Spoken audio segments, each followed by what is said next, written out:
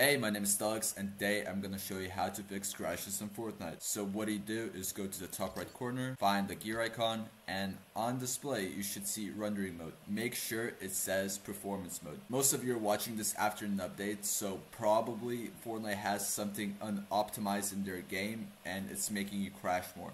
So make sure to have performance mode on. Okay, now you can go to Epic Games and you want to find Fortnite. If for some reason it doesn't even let you get into the game, what I want you to do is go to manage and verify your game. It actually helps you a lot. While we're still on Epic Games, what you could do is click the three dots right here and press on options and you could pre-download streamed assets. I know it helps with crashing, so you could do it. Okay, now click on the three dots right here, go on manage and find installations and there's this folder icon which says open install location. So just press on it. Now you want to press on Fortnite game, binaries Win64 and now you want to scroll a little bit down until you see Fortnite client Win64 shipping.exe and right click on it. Now go to properties, go to compatibility and make sure this is ticked and this says Windows 8 and also disable full screen optimizations.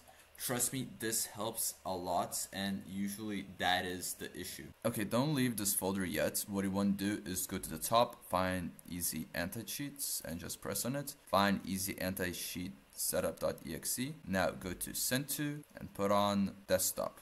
Now you want to just drag it from your desktop to this folder right here. Now go to the shortcut folder, right click it, press properties and on the very end, write repair and press apply. Now all you want to do is just double click it and it's gonna run a few scripts and that's it. Okay, now write control R, write local app data percent like this and press OK. Now you wanna find Fortnite game and double press it, go to saved and what you want to do is just delete everything. This will delete all of your settings. This will delete all of your settings, but it usually fixes the issue. So when you go back to Fortnite, you might want to change your settings. After you did all of the steps, what I want you to do is reboot your PC. And if this helped you, please make sure to use code NotStelix in the item shop. It really helps me a lot.